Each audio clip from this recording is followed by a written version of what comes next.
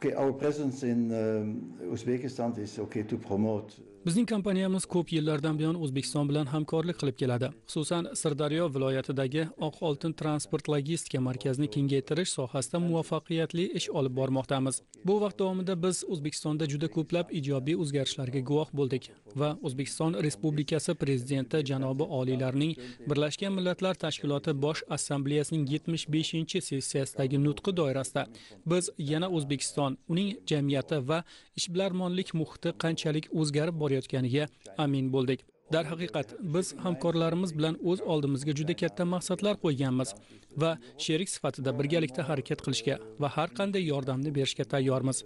Bizning asosiy vazifalarimizdan biri bu logistika markazlarimiz orqali iste'mol tovarlari tarqatish shuningdek turli infratuzilma markazlarini qurish bo'yicha loyihalarni amalga oshirishdir.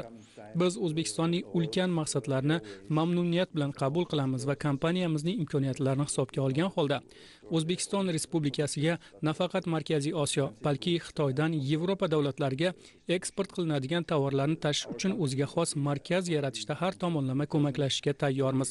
Shu munosabat bilan men o'zbekistonda avtomobil va temir yo'l infratuzilmasini rivojlantirish shuningdek tovarlarni ko'p miqdorda saqlash imkoniyatlarini kengaytirish zarurligini aytib o'tmoqchiman. Biz mamlakatning salohiyatiga ishonamiz va respublikani markaziy osiyoda yetakchi deb bilamiz. Biz respublikada olib borilayotgan keng ko'lamli islohotlarni diqqat bilan kuzatmoqdamiz. Bu esa xorijiy biznes uchun keng imkoniyatlar eshigini ochadi. Biz o'zbekiston hukumati bilan faol hamkorlik qilishga tayyor ekanligimizni bildiramiz. And uh, we will be one of these partners uh, in order to uh, develop these activities in Uzbekistan.